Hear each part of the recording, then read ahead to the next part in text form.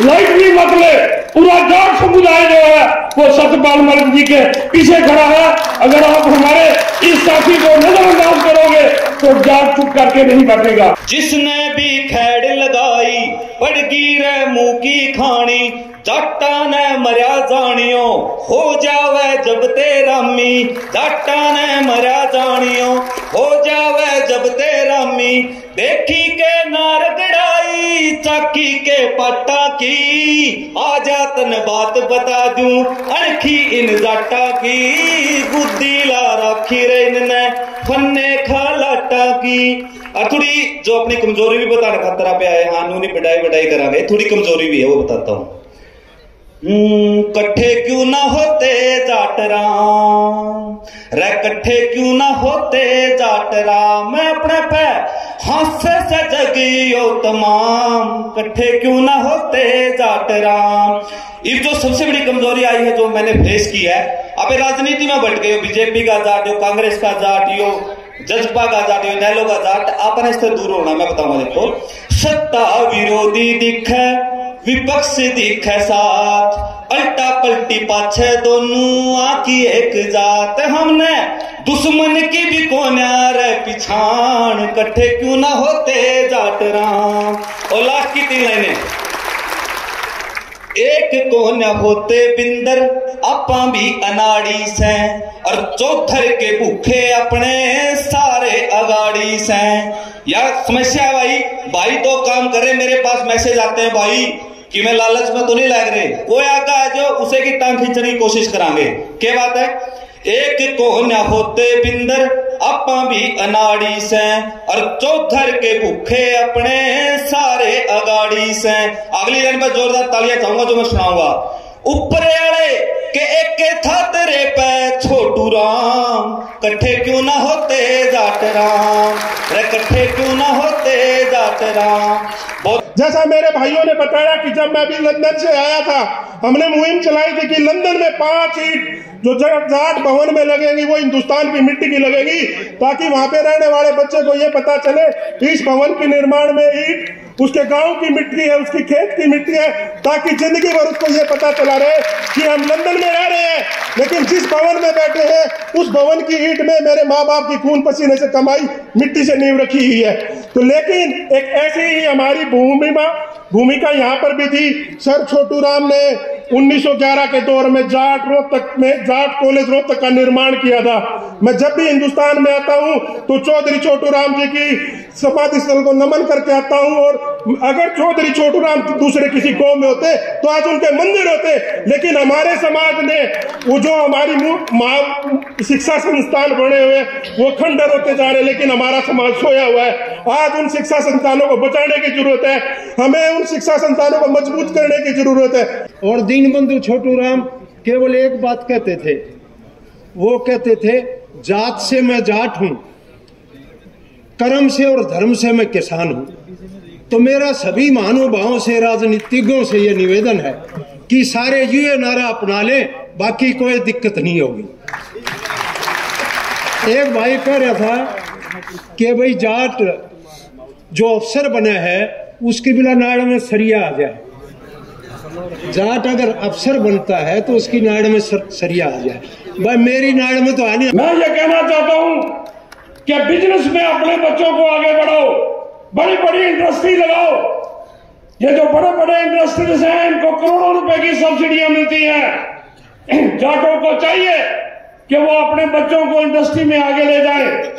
और एक बात मैं और रिक्वेस्ट करूँगा आपसे कि फजूल खर्ची बंद करो। जो हम शादियों पे, जो हम डेथ पे बेशुमार पैसा खर्च करते हैं, ये खर्चे बंद करो और इसको समाज की भलाई के लिए लगाओ। मैं ज़्यादा ना बोलता हुआ, मैं ये अपील करूँगा यहाँ के ऑर्गेनाइजर्स को कि आइए जम्मू कश्मीर में भी आप इसी किस्म का जाट सम्मेलन जो है, ये किया जाए। जम्मू कश्मीर का जाट बहुत पिछड़ा हुआ है। जम्मू कश्मीर में जाटों की आबादी इतनी ज़्यादा नहीं। हम लोग बहुत सी जंगों का शिकार हुए। हम 47 में उजड़े। हम 65 में उजड़े। हम 71 की मार में उजड़े। छम्ब जो हमारा बहुल क्षेत्र था जाटों का, वो पाकिस्तान में चला गया। जाटों को पूरे बॉर्डर पे बिछा दिया। आए दिन जब भी पाकिस्तान फायरिंग करता है, हम लोग को उजड़ना पड़ता है। मेरे दोस्तों, साथियों, जाटों को कोई नुमाइंदगी नहीं देता था। हमें कोई पॉलिटिकल पार्टी टिकट नहीं देती थी। हमारा एक एमएलए 65 में बना और उसके बाद 96 में ये चौधरी विक्रम रंधावा जी के पिताजी 96 में एमएलए बने। बीजेपी ने उनको टिकट दिया। उस वक्त बीजेपी से कोई टिकट लेता नहीं था तो उनको टिकट मिला। और 2002 में मैं एमएलए बना। सबसे पहले जम्मू कश्मीर की सरकार में मैं मंत्री बना। उसके बाद कैबिनेट मिनिस्टर भी हमारे बने। हमारे वहाँ से एमपी भी बने। एमएलसी भी बने। क्योंकि हमने वहाँ जाटों को इकट्ठा किया। हमने एक बार इसी तरह लोग इकट्ठे किए और हमने एक विषय रखा, जाट समुदाय और राजनीति। हमने कहा कि राजनीति में आगे बढ़ो। हमारे लोग वहाँ आज यूनाइट हुए। मैं ज़्यादा ना बोलता हुआ, एक बात यहाँ कहूँगा कि हमारे जो सतपाल मलक जी, जो जम्मू कश्मीर के गवर्नर भी रहे, मेघालय के गवर्नर भी रहे आज वो गवर्नर नहीं है उनकी सिक्योरिटी विड्रा की जा रही है? मैं ये कहना चाहता हूँ इस मंच से कि वो गवर्नर साहब आज नहीं है, लेकिन वो हमारी बरादरी के एक मेन साथी है। मैं ये कहूँगा केंद्र सरकार से कि आप हमारे इस साथी को लाइटली नहीं बदले। पूरा जाट समुदाय जो है, वो सत्यपाल मलिक जी के पीछे खड़ा है। अगर आप हमारे इस साथी को नजरअंदाज करोगे तो जाट चुप करके नहीं बैठेगा। इसलिए मेरे दोस्तों, साथियों, मैं ज़्यादा ना बोलता हुआ, मैं ऑर्गेनाइजर साहबान को इनका शुक्रिया अदा करता हूँ। कि ये पूरी दुनिया के जाटों को एक मंच पे लाते हैं, सभी पॉलिटिकल पार्टी के जो भी जाट हैं उनको बुलाते हैं और जाटों की बेहतरी की बात करते हैं। एक जाटनी चली गई किसी का घर और नोबली के बालक के रहे हैं। बड़ा छोरी तो एमबीबीएस की तैयारी कर है और छोरा आईपीएस की तैयारी कर है। और फिर वह वालू का एक जाटनी तो बोली तेराड़ी की कर है। बोले, छोरी तो सोमवार का व्रत करिए, मंदिर में जा रही है। और छोरा कावड़ लेने जा रहा है। तो जाटा का यो हाल हो रहा है अपन जो काम अपना नहीं है आप उसका पाछा कट रहे हैं। ठीक है? अगर कल आरक्षण मिल भी जाओगा तो कावड़ लेने वाला लगेगा कि तो ठीक है, धर्म है, अच्छी बात है। हम, हमने बचपन से ये चीज़ पढ़ी है, करना चाहिए, एक जो जायज़ हुआ है। पर जाट जमींदार का काम यो नहीं है कि आप धर्म के पास इतने पागल हो जाए कि हम जो चीज़ ना भूल रहे हैं, जड़ता हम उठे हैं, जड़ता है। ये इन बुजुर्गा का लगाएगा, देखो इनकी मेहनत है जो आज हम यहाँ हाँ सारे इकट्ठे हैं। आज हम इसका बात कर सकें तो सबका है, बस ये उम्मीद है कि अब शिक्षा ऐसी चीज़ है जो किसी आदमी ने बिठा देगी, किसी समाज ने गिरा देगी। तो ये जो आरक्षण के फंडे चले थे इसीलिए चले थे कि बच्चे शिक्षा ले और आगे बढ़े। बस अपने बच्चों को अच्छी शिक्षा दो, जो देश हित में हो, अपने समाज हित में हो। जाट समाज मज़बूत होगा तो राष्ट्र भी मज़बूत होगा, क्योंकि राष्ट्रीयता की भावना से ओत प्रोत ये जाट समाज है। और किसी ने एक कवि कवि की अंतिम पंक्तियों के साथ मैं बात को खत्म करूँगा कि ज़िंदगी में वो जिया जो नाम जग में कर गया और जो कर सका कुछ नहीं, वो ज़िंदा रहते मर गया।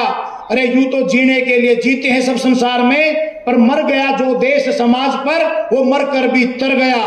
कि हमसे भी कम जनसंख्या के लोग हैं, पारसी समुदाय के लोग। उन लोगों में अगर किसी एक व्यक्ति को ज़रूरत पड़ती है तो पूरे का पूरा समाज, समुदाय उनके साथ खड़ा होता है।